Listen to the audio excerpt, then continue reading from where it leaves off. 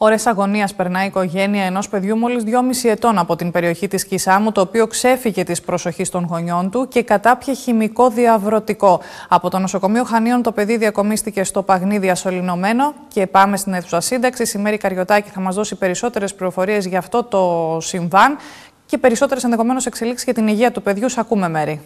Φαίνεται, Κατερίνα, κυρίες και κύριοι, καλησπέρα, ότι είναι αισιόδοξοι οι γιατροί. Ε, έχουν υποβλη... Έχει υποβληθεί το, το πιτσιρίκι σε α, τις, τις πρώτες εξετάσεις. Φαίνεται ότι ο σοφάγος του δεν έχει υποστεί αυτές τις αλλοιώσεις που φοβόταν οι α, γιατροί. Βεβαίως είναι διασωληνωμένος στη μονάδα εντατικής θεραπείας του Πανεπιστημιακού Γενικού Νοσοκομείου και έχει όλη τη φροντίδα που χρειάζεται. Τις επόμενες ώρες θα τρέξουν κάποιες εξετάσεις και οι οτόρινολαριγκολόγοι για να επιβεβαιώσουν την γενικά καλή γενική εικόνα που υπάρχει αυτή τη στιγμή. Φαίνεται, Κατερίνα, πως η ποσότητα που κατανάλωσε το παιδί από αυτή τη σκόνη, γιατί ήταν σε σκόνη αυτό το που χρησιμοποιούμε στα νοικοκυριά για να.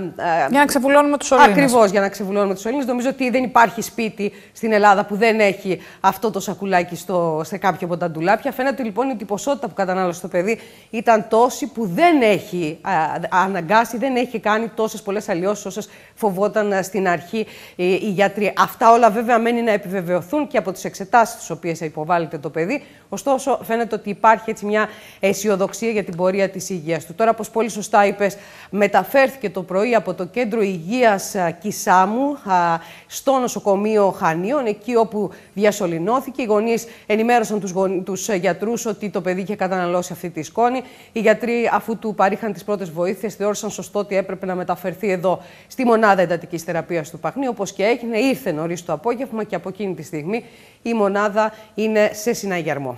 Να σε ευχηθούμε να ξεπεράσει πολύ γρήγορα την περιπέτεια το παιδί. Σε ευχαριστώ πολύ για τις λεπτομέρειες, Μέρη.